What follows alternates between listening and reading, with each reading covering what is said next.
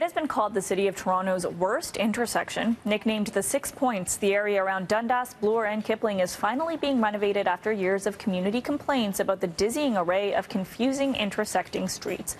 The ongoing construction is frustrating enough for commuters in Etobicoke, but now there is another controversy. One of the three streets that will be created when construction is done may be named after our notorious late mayor, Rob Ford. As Pam Seatle tells us, the possibility is bringing out opinions both for and against the idea. I think it's a terrific idea. I think he deserves that. You know, he was a nice guy. So uh, probably it would be a good idea. The prospect of naming a street after Rob Ford, Toronto's mayor from 2010 to 2014, came after an online proposal to the public to send in suggestions. More than 600 names were submitted. That list was whittled down to 10.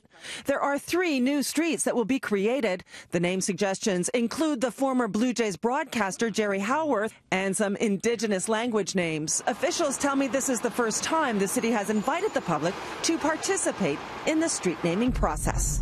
Uh, Mr. Ford was was you know the 64th mayor uh, of of this city and uh, had tremendous support, particularly in his home uh, home of Etobicoke. And so it is a very subjective process. There's no doubt about that. Uh, you know, picking names is, is in and of itself subjective. We need to make sure that we're reflective of the entire community, and many people uh, submitted Mr. Ford's name. Probably in one of my drunken stupors.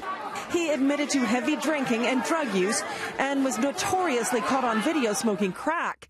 The idea that he should be immortalized with a street name has been met with outrage online with over a hundred people strenuously opposing the proposal. Sandra tweets, Why are we glorifying someone with a shady past and bad behavior? Not really. Uh, you know, he's a human, just human. You know, everyone make mistake. Councillor Kristyn Wong Tam says it would be more appropriate to name one of the streets after Peter Milczyn, the former councillor and MPP who is not on the short list, but she says spearheaded the reconstruction project years ago. And while she understands that Rob Ford, who died of cancer in 2016, was well loved by many of his constituents, she does not think a street should be named after him at this point. Uh, considering the notoriety that surrounded him um, from his uh, were, were deemed as criminals um, to the controversy that in the chaos he threw city council uh, into, mm-hmm. um, it, it's probably a little bit too soon. It is not the first time there's been a proposal to honor Rob Ford's name. His family wanted an Etobicoke sports stadium named after him. That was ultimately rejected by City Council. The names for the three streets will be chosen by the Etobicoke York Community Council, and you will have a chance to rank your favorites online until September 2nd. For the link, go to our website, citynews.ca.